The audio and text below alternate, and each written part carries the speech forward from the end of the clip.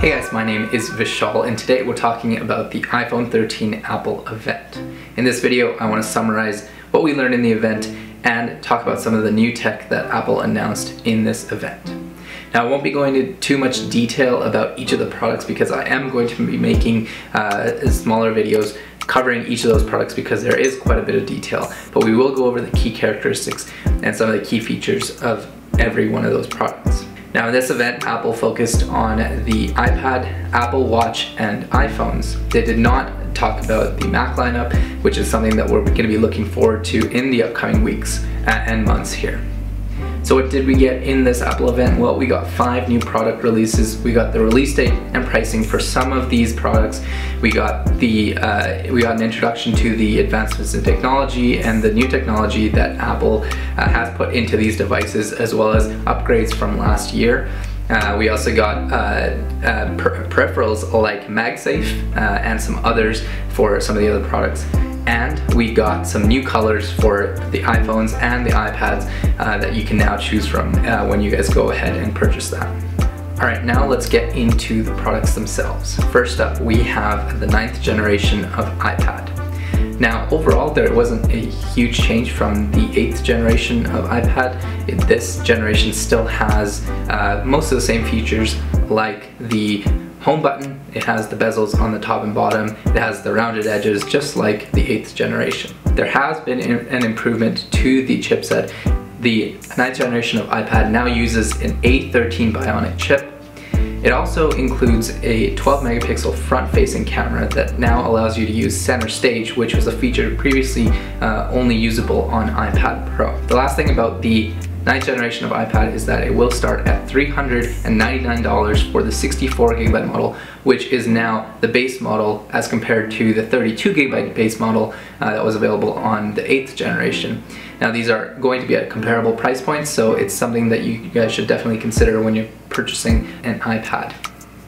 Next up we have the iPad mini. Now this is one of the products that got a totally new refresh design uh, as compared to the previous version of the iPad mini. The iPad mini now features the same design as the iPad Air from last year, uh, including the flat edge design, the fingerprint sensor on the home button which is now moved to the top, uh, as well as a USB-C connector at the bottom. The iPad mini now comes with the all new A15 Bionic chipset, which means better performance than even the iPad Air from last year, which uses the A14 Bionic chipset. The iPad mini also includes a 12 megapixel ultra wide front camera again with center stage and also a 12 megapixel wide rear camera. It includes the 8.3 inch liquid retina display that stretches from edge to edge. Yes, there's still a bezel, but it is now, like I said, more towards the iPad Air design. Lastly, the pricing for the 64 gigabyte base model in this case uh, for the iPad mini is going to be $649. Next in the Apple lineup is the Apple Watch Series 7.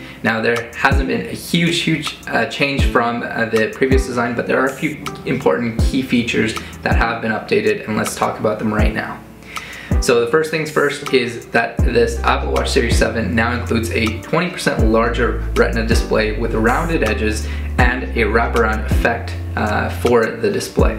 This display is now up to 70% brighter and includes larger buttons and a full keyboard on the face.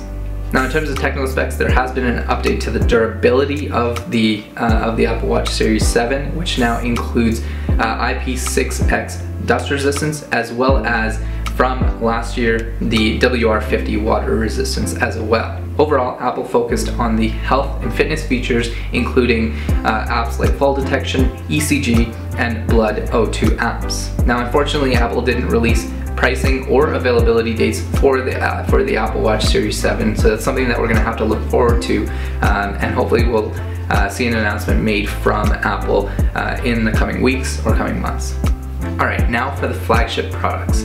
First, let's talk about the all-new iPhone 13.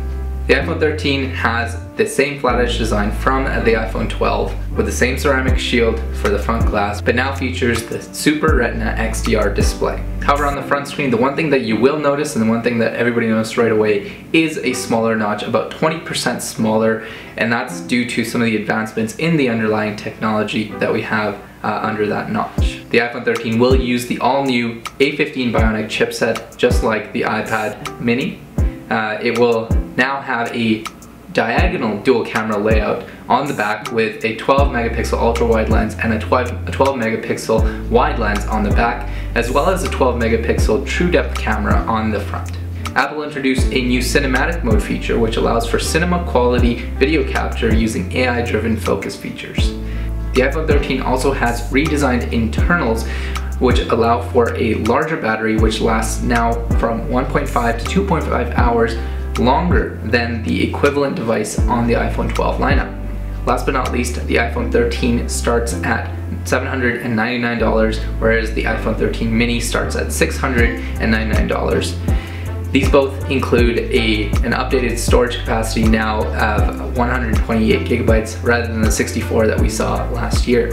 The last device that Apple announced in their Apple event was the iPhone 13 Pro and Pro Max. Now, the iPhone 13 Pro and Pro Max include all the features from the iPhone 13, like a Super Retina XDR display, the all-new A15 chipset, cinematic mode, and an increased battery life.